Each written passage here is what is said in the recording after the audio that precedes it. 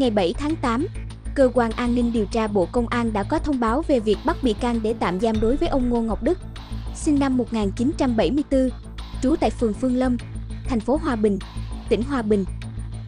Theo thông báo, ông Đức bị bắt về hành vi đánh bạc, phạm vào khoản 2, điều 321, Bộ luật hình sự. Trước đó, Ban tổ chức tỉnh ủy Hòa Bình ban hành công văn về việc thông tin kỳ họp Ban chấp hành Đảng bộ tỉnh. Theo đó, ngày 12 tháng 4 năm 2023, Ban chấp hành Đảng bộ tỉnh, Ban thường vụ tỉnh ủy đã họp và thống nhất để ông Ngô Ngọc Đức thôi giữ các chức vụ Ủy viên Ban chấp hành Đảng bộ thành phố Hòa Bình, Ủy viên Ban thường vụ Thành ủy Hòa Bình và chức danh Bí thư Thành ủy thành phố Hòa Bình nhiệm kỳ 2020 đến 2025 theo nguyện vọng cá nhân liên quan đến một việc khác về trách nhiệm nêu gương người đứng đầu. Ông Ngô Ngọc Đức từng giữ chức giám đốc Sở Xây dựng tỉnh Hòa Bình trước khi làm Bí thư Thành ủy thành phố Hòa Bình. Công an tỉnh Bình Dương vừa quyết định khởi tố bị can và bắt tạm giam đối với Ngô Thị Thương, sinh năm 1974, trú tại phường Thuận Giao, thành phố Thuận An, tỉnh Bình Dương để điều tra về các tội lừa đảo chiếm đoạt tài sản và tội làm giả con dấu, tài liệu của cơ quan, tổ chức. Quá trình điều tra xác định Ngô Thị Thương với vai trò là kế toán trưởng một công ty trên địa bàn thành phố Thuận An đã có hành vi gian dối, làm giả một phiếu thay đổi dịch vụ SMS và 5 lệnh chuyển tiền để chiếm đoạt số tiền trên 4 tỷ đồng trong tài khoản của công ty. Hiện, cơ quan cảnh sát điều tra công an tỉnh Bình Dương đang tiếp tục điều tra, củng cố hồ sơ để xử lý theo quy định. Ngày 7 tháng 8, phiên tòa xét xử vụ án tại Cục Đăng kiểm Việt Nam và các trung tâm đăng kiểm tiếp tục với phần tranh luận. Các luật sư tiến hành bào chữa cho các bị cáo. Bào chữa cho nhóm bị cáo là Phó trưởng phòng kiểm định xe cơ giới gồm Đặng Trần Khanh, Nguyễn Đức Toàn và Trịnh Bình Dương. Các luật sư đề nghị xem xét trách nhiệm của các bị cáo về tổng số tiền mà phòng VAR đã nhận vì các bị cáo không biết chủ trương, không được bàn bạc. Các luật sư cũng trình bày thêm các tình tiết giảm nhẹ như đã nộp lại tiền, có nhiều thành tích trong công tác, tích cực hợp tác với cơ quan điều tra trong quá trình giải quyết vụ án. Theo luật sư Nguyễn Văn Quynh, đoàn luật sư thành phố Hà Nội, luận tội của đại diện Viện Kiểm sát đối với bị cáo Trịnh Bình Dương, cựu phó phòng kiểm định xe cơ giới, phòng VAR là quá nghiêm khắc, Viện Kiểm soát đề nghị tuyên phạt 18 đến 20 năm tù về hai tội đưa và nhận hối lộ. Bị cáo không được phân công phụ trách mảng thẩm định thiết kế cải tạo xe cơ giới. Đồng thời, người phụ trách mảng này lại là cấp trên trực tiếp. Do vậy, bị cáo Dương có vai trò hết sức thụ động.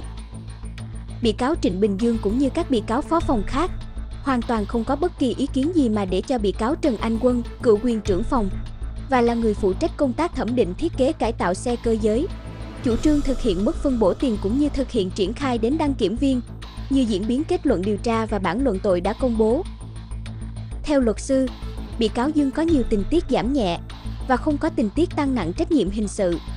Vì vậy, bên cạnh đề nghị hội đồng xét xử áp dụng các tình tiết giảm nhẹ quy định tại Bộ luật hình sự, Luật sư cũng đề nghị áp dụng chính sách khoan hồng đặc biệt tại Điều 5 Nghị quyết số 03 năm 2020 của Hội đồng Thẩm phán Tòa án Nhân dân tối cao, để cho bị cáo Trịnh Bình Dương được hưởng mức án thấp nhất của khung hình phạt, nhưng không bắt buộc phải trong khung hình phạt liền kề nhẹ hơn của điều luật quy định. Bào chữa cho bị cáo Trần Kỳ Hình, cựu Cục trưởng Cục Đăng kiểm Việt Nam, Luật sư đề nghị hội đồng xét xử xem xét toàn diện thiệt hại của vụ án và xem xét bị cáo không phạm tội lợi dụng chức vụ, quyền hạn trong khi thi hành công vụ, Tự bào chữa, bị cáo Trần Kỳ Hình cho rằng, trong thời gian bị cáo còn đương nhiệm, bị cáo có chỉ đạo thanh tra, kiểm tra, ủy quyền cho cục phó thực hiện nhiệm vụ này.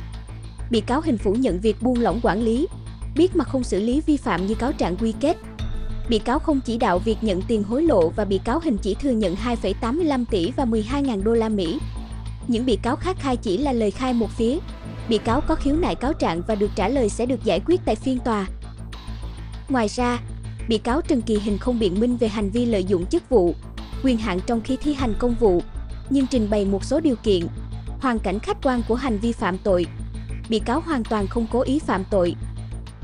Trước đó, trong phần luận tội, đại diện Viện Kiểm sát cho rằng, để xác định số tiền mà cáo trạng đã quy buộc đối với bị cáo, chúng tôi căn cứ vào lời khai của các bị cáo là giám đốc các trung tâm đã đưa tiền cho bị cáo, căn cứ vào số tiền mà phòng VAR đã nhận và chi cho lãnh đạo, Căn cứ vào số lượng hồ sơ mà phòng VAR đã thẩm định và chính vào lời khai nhận của bị cáo tại cơ quan điều tra, tại phiên tòa về diễn biến hành vi phạm tội. Do đó, Viện Kiểm sát có căn cứ xác định Trần Kỳ Hình phải chịu trách nhiệm và đã nhận hối lộ, hưởng lợi số tiền 7,16 tỷ đồng.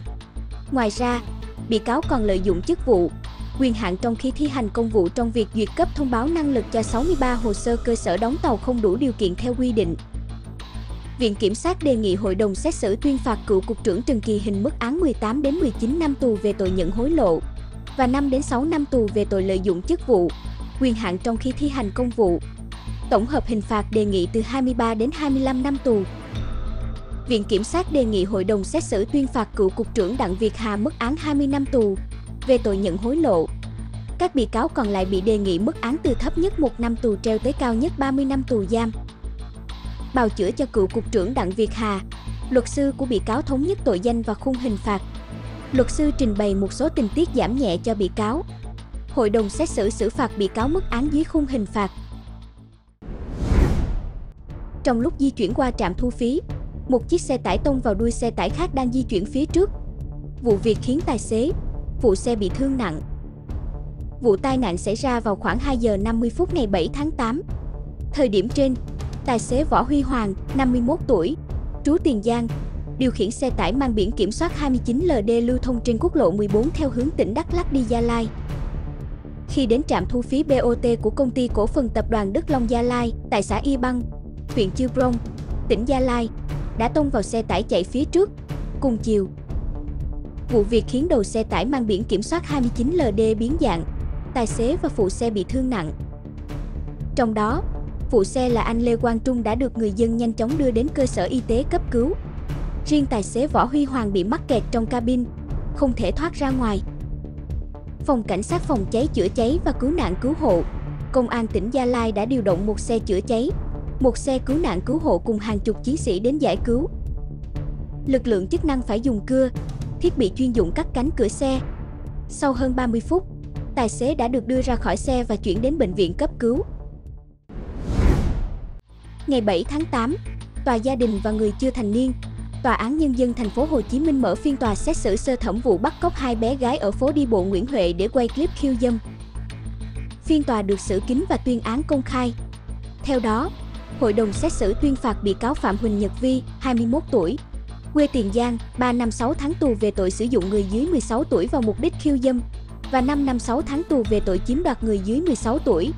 Tổng hợp hình phạt là 9 năm tù. Ngoài ra, hội đồng xét xử buộc bị cáo Vi bồi thường 80 triệu đồng cho bị hại. Tháng 10 năm 2023, qua ứng dụng hẹn hò, vì có mối quan hệ tình cảm với người đàn ông tên Richard, chưa rõ lai lịch. Sau đó, Richard nhắn tin đề nghị Vi tìm các bé gái 6 đến 12 tuổi để dụ dỗ, quay video clip khiêu dâm gửi cho Richard. Đổi lại ông ta sẽ cho Vi tiền. Tối ngày 3 tháng 4, Vi đến trước khu vực 161 Đồng Khởi, quận một dụ hai chị em cháu TM và TL, 3 tuổi, đi ăn kem. Rồi dẫn đến một căn hộ ở chung cư Sài Gòn Bơn, phường 22, quận Bình Thạnh, do Richard thuê. Cơ quan điều tra xác định từ ngày 3 tháng 4 đến ngày 7 tháng 4, khi ở cùng tại chung cư trên, vì đã quay 12 đoạn video clip khiêu dâm để gửi cho Richard. Ngày 8 tháng 4, lực lượng chức năng ập vào căn hộ, giải cứu thành công hai bé. Sáng ngày 7 tháng 8, trên cầu Bến Thủy một bắc qua sông Lam, nối liền tỉnh Hà Tĩnh và tỉnh Nghệ An, một ô tô khách bất ngờ bị nổ lốp, lao sang làng xe thô sơ khiến các phương tiện tham gia giao thông qua lại trên cầu gặp nhiều khó khăn. Theo thông tin ban đầu, khoảng 5 giờ sáng ngày 7 tháng 8, ô tô khách mang biển kiểm soát 43F đang lưu thông trên tuyến quốc lộ 1 theo hướng Nam Bắc. Khi đến đoạn cầu Bến Thủy một bắc qua sông Lam, nối liền tỉnh Hà Tĩnh và tỉnh Nghệ An thuộc địa phận huyện Nghi Xuân, tỉnh Hà Tĩnh thì bất ngờ bị nổ lốp. Sự việc khiến ô tô khách mất lái, tông hàng loạt khối bê tông ngăn cách với làn xe thô sơ trên cầu Bến Thủy 1, khiến người đi xe máy, xe đạp khi lưu thông qua khu vực phải tạm thời di chuyển vào làn dành cho xe cơ giới. Sự việc khiến một số người trên ô tô khách hoảng loạn. Ngay sau khi nắm được thông tin, lực lượng chức năng đã đến hiện trường tổ chức điều tiết, phân luồng giao thông. Đến hơn 8 giờ 30 phút, ô tô khách gặp nạn được di dời khỏi hiện trường cầu Bến Thủy 1. Hiện vụ việc đang được các lực lượng chức năng xử lý, làm rõ nguyên nhân. Sáng ngày 7 tháng 8, tại km 231 thuộc cao tốc Vĩnh Hảo, Phan Thiết, đoạn qua xã Mương Máng, huyện Hàm Thuận Nam, tỉnh Bình Thuận, xảy ra vụ tai nạn liên hoàn giữa xe tải và hai xe đầu kéo khiến nhiều người bị thương, giao thông bị ảnh hưởng. Thời điểm trên, xe tải chở cam mang biển kiểm soát 64H lưu thông trên đường cao tốc Vĩnh Hảo, Phan Thiết, hướng thành phố Phan Thiết, tỉnh Bình Thuận, đi thành phố Phan Rang, Tháp Chàm, tỉnh Ninh Thuận. Khi đến km 231, thì xe bất ngờ tông liên tiếp vào hai xe đầu kéo lần lượt mang biển kiểm soát 83C và 15RM cùng chiều phía trước. Vụ tai nạn đã khiến tài xế xe tải và một người khác bị thương nặng phải đi cấp cứu tại bệnh viện. Tại hiện trường, các phương tiện bị hư hỏng nặng, nhiều tấn cam rơi vãi ra đường gây ảnh hưởng đến giao thông. Nhận được tin báo, đội tuần tra kiểm soát giao thông đường bộ cao tốc số 6 thuộc Cục Cảnh sát Giao thông, Bộ Công an cùng các đơn vị liên quan đã đến hiện trường điều tiết giao thông. Hiện tại, lực lượng chức năng đã hoàn tất khám nghiệm hiện trường, tổ chức dọn dẹp hiện trường, giao thông khu vực tai nạn đã thông thoáng. Khoảng 14 giờ ngày 6 tháng 8, một tàu chở hàng trọng tải lớn di chuyển từ hướng Campuchia về Việt Nam. Khi vào địa phận sông Vàm Nao, đã tông trực diện vào phà chở nhiều khách từ huyện Phú Tân sang huyện chợ mới. Theo video người dân quay lại, tàu hàng di chuyển với tốc độ cao, di chuyển trên sông đã va chạm trực tiếp vào phà chở khách đang di chuyển trước mặt. Ghi nhận ban đầu, vụ tai nạn khiến phà nghiêng sang một bên, lan can hư hỏng, ba hành khách và xe tải chở ga trên phà văng xuống sông. Theo lãnh đạo Ủy ban Nhân dân huyện Phú Tân, sau sự cố, các phương tiện gần đó đã hỗ trợ cứu hộ các nạn nhân, không xảy ra thương vong. Phà gặp nạn được lực lượng chức năng kéo vào bờ để sửa chữa. Sáng ngày 7 tháng 8, cơ quan chức năng tỉnh Đắk Lắk vẫn đang điều tra làm rõ vụ tai nạn liên hoàn giữa xe đầu kéo và hai xe tải xảy ra trên tuyến đường tránh Buôn Hồ, đoạn qua xã Y Đờ Rơn, huyện Cư Mờ Ga, tỉnh Đắk Lắk, làm 3 người tử vong, 3 người bị thương. Theo thông tin ban đầu, khoảng 20 giờ 15 phút ngày 6 tháng 8, tài xế Huỳnh Minh Đạt, 54 tuổi, ngụ tỉnh Gia Lai, điều khiển xe đầu kéo biển kiểm soát 82H kéo theo rơ móc biển kiểm soát 81R, lưu thông trên đường tránh Buôn Hồ theo hướng Gia Lai, Đắk Lắk. Khi xe chạy đến đoạn đường tránh Buôn Hồ, đoạn qua xã Y Đờ Rơn, huyện Cư Mờ Ga, tỉnh Đắk Lắk thì xảy ra sự cố nên dừng lại. Lúc này, anh Lê Huy Hoàng, 41 tuổi, ngụ tỉnh Gia Lai, điều khiển xe tải biển kiểm soát 81C chạy tới và dừng lại phía sau xe đầu kéo, do phát hiện đang có xe di chuyển theo hướng ngược lại. Tuy nhiên, xe tải biển kiểm soát 60H do tài xế Phan Xuân C, ngụ thành phố Bảo Lộc, Lâm Đồng, điều khiển tông mạnh từ phía sau. Hậu quả, tài xế Phan Xuân C tử vong tại chỗ. Ông Nguyễn Xuân V, 47 tuổi, ngụ huyện Bảo Lâm, tỉnh Lâm Đồng, người đi trên xe 60H và ông Phạm Văn H, 39 tuổi, ngụ thành phố Hải Phòng, đi xe 81C, tử vong trên đường đến bệnh viện. Ngoài ra, ông Lê Huy H, tài xế xe 81C, ngụ tỉnh Gia Lai, Trương Hùng C, 32 tuổi, đi trên xe 81C, Nguyễn Thanh Tê, 36 tuổi, ngụ tỉnh Lâm Đồng, đi trên xe 60H, bị thương nặng. Tất cả các nạn nhân đều là người thu mua sầu riêng, đang trên đường đi làm về thì gặp nạn. Nguyên nhân vụ tai nạn đang được cơ quan chức năng điều tra, làm rõ. Tòa án Nhân dân thành phố Hà Nội vừa ra quyết định mở lại phiên xét xử sơ thẩm bị cáo Nguyễn Thị Loan cùng 12 đồng phạm trong vụ án sai phạm trong đấu giá quyền sử dụng đất ở xã Tiên Dương, huyện Đông Anh, thành phố Hà Nội. Theo đó, phiên tòa dự kiến khai mạc ngày 9 tháng 8, kéo dài khoảng 4 ngày. Trước đó, như báo Sài Gòn Giải phóng đã thông tin, ngày 22 tháng 4, tại phiên tòa sơ thẩm, bị cáo Nguyễn Thị Loan kêu oan, cho rằng cáo trạng truy tố nhiều nội dung chưa đúng.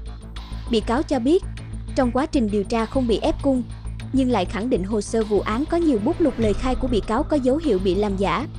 Bên cạnh đó, bị cáo không làm việc với điều tra viên nào tên là Bùi Đức Hiếu, nhưng các bút lục lại thể hiện có tên điều tra viên này. Trước sự việc này, Tòa án Nhân dân thành phố Hà Nội đã quyết định trả hồ sơ điều tra bổ sung làm rõ một số nội dung. Trong đó, Hội đồng xét xử yêu cầu cơ quan điều tra giám định chữ ký của bị cáo Nguyễn Thị Loan và xác minh tài liệu liên quan đến điều tra viên Bùi Đức Hiếu. Xem xét lại hành vi và tội danh của bị cáo Trần Công Tuyên, trưởng phòng quản lý khai thác hạ tầng và giải phóng mặt bằng thuộc Ban quản lý dự án huyện Đông Anh, Hà Nội. Xem xét lại hành vi phạm tội của bị cáo Bùi Thanh Huyền và Nguyễn Thị Cẩm Lê, cán bộ Sở Tài nguyên Môi trường Hà Nội. Xem xét diện xử lý hình sự đối với một số cán bộ cơ quan quản lý nhà nước liên quan đến hoạt động đấu giá tài sản. Tại bản kết luận điều tra bổ sung mới đây, cơ quan điều tra giữ nguyên quan điểm buộc tội đối với bị cáo Nguyễn Thị Loan, đồng thời khẳng định các biên bản lấy lời khai và biên bản hỏi cung do điều tra viên Bùi Đức Hiếu thực hiện không bị cắt ghép. Đối với bị cáo Trần Công Tuyên, cơ quan điều tra giữ nguyên quan điểm xử lý về tội vi phạm quy định về hoạt động bán đấu giá tài sản. Các bị cáo khác bị đề nghị điều tra bổ sung là Bùi Thanh Huyền và Nguyễn Thị Cẩm Lê. Cơ quan điều tra giữ nguyên quan điểm xử lý về tội thiếu trách nhiệm gây hậu quả nghiêm trọng. Với quan điểm trên của cơ quan điều tra, ngày 7 tháng 8, trao đổi với phóng viên, luật sư Trương Quốc Hòe cho biết đã có đơn gửi Tòa án Nhân dân thành phố Hà Nội đề nghị trưng cầu giám định đối với 39 bút lục có chữ ký liên quan đến thân chủ và 7 bút lục được thu giữ trên bàn làm việc của bị cáo Loan để đảm bảo vụ án được giải quyết khách quan, đúng theo quy định của pháp luật. Luật sư Hòe cho rằng, kết luận bổ sung của cơ quan điều tra về việc các biên bản lấy lời khai và biên bản hỏi cung do điều tra viên Bùi Đức Hiếu thực hiện không bị cắt ghép là chưa khách quan. Theo luật sư, trong phiên tòa hồi tháng 4, lời khai của bị cáo Loan cùng hồ sơ vụ án cho thấy nhiều tài liệu, chữ ký, chữ viết có liên quan đến bị cáo có các dấu hiệu cần phải được giám định để kiểm tra tính chính xác. Trước đó, sau khi bản kết luận điều tra bổ sung được giữ nguyên quan điểm buộc tội với bị cáo Loan, Văn phòng luật sư Trương Quốc Hòe đã lựa chọn một đơn vị tư vấn trưng cầu giám định tư nhân đối với một số tài liệu nêu trên. Kết quả cho thấy chữ ký của bị cáo Nguyễn Thị Loan tại các biên bản ghi lời khai, hỏi cung, đối chất có tồn tại những đặc điểm khác nhau. Luật sư Hòe cho biết, để giám định khách quan, ông đề nghị cơ quan xét xử xem xét thực hiện giám định tại Viện Khoa học Hình sự Bộ Công an và Phòng Giám định Cục Điều tra Hình sự Bộ Quốc phòng. Nếu phiên tòa vẫn tiếp tục diễn ra, luật sư Hòe đề nghị tòa triệu tập các điều tra viên Bùi Đức Hiếu, Tạ Biên Cương để làm rõ những vấn đề liên quan về việc có hay không hành vi cắt, ghép, tạo dựng biên bản lời khai, hỏi cung. Theo cáo buộc, cựu chủ tịch hội đồng quản trị tập đoàn Vmedimed Nguyễn Thị Loan sử dụng ba pháp nhân, gồm công ty Bắc Từ Liêm, công ty Thanh Trì và công ty Mỹ Đình để chỉ đạo tham gia đấu giá hơn 16.000 m2 đất thuộc dự án xây dựng hạ tầng kỹ thuật khu đấu giá quyền sử dụng đất ở thôn Cổ Dương, xã Tiên Dương, huyện Đông Anh, thành phố Hà Nội. Quá trình đấu giá, ba pháp nhân này cùng nhau trả giá theo kịch bản đã lên từ trước, giúp công ty Bắc Từ Liêm trúng đấu giá với mức giá hơn 326 tỷ đồng, tương đương hơn 20,1 triệu đồng một mét vuông. Thực tế, giá trị khu đất là hơn 28,5 triệu đồng một mét vuông, tương đương hơn 462 tỷ đồng. Chênh lệch giá khiến ngân sách nhà nước thiệt hại hơn 135 tỷ đồng.